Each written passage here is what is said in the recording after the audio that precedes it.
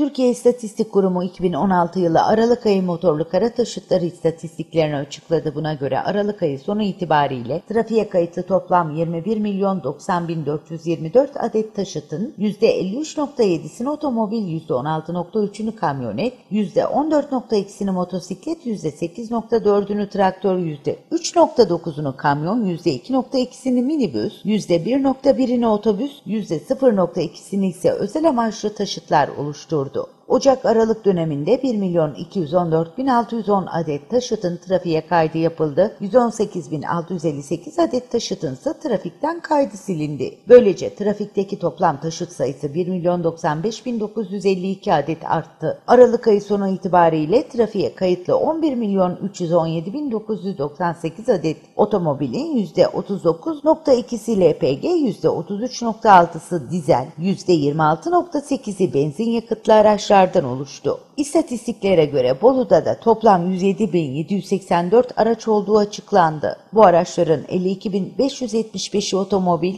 1496'sı minibüs, 1057'si otobüs, 15.326'sı kamyonet, 5.825'i kamyon, 10.659'u motosiklet, 379'u özel amaçlı taşıt ve 20.467'si traktörden oluştu.